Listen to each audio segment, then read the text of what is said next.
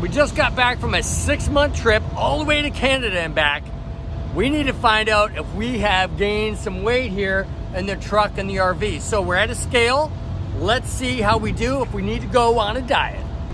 Okay, just got my scale results. We are 160 pounds over, so we've got to go on a diet in this beast right here.